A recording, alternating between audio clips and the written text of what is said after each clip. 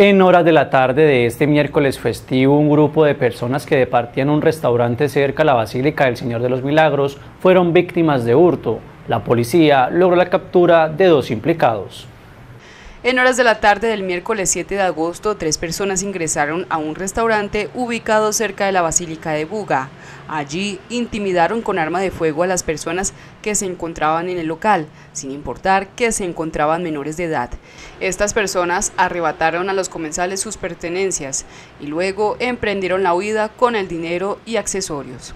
Sin embargo, en una reacción inmediata de uniformados de la policía, logran la captura de un hombre y la aprehensión de un menor de edad.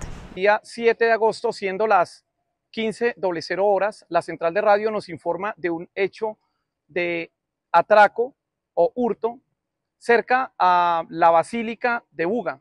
De inmediato eh, desarrollamos y desplegamos nuestro dispositivo policial haciendo los cierres alrededores del municipio de Buga dando con la captura y la aprehensión de dos sujetos vinculados a este hurto, los cuales fueron interceptados a la altura del kilómetro 40 entre la vía que conduce de Media Canoa a la ciudad de Cali.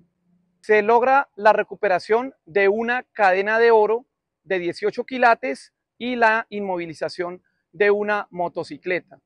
En estos hechos no resultaron personas lesionadas. Los hoy capturados fueron dejados a disposición de la Fiscalía General de la Nación.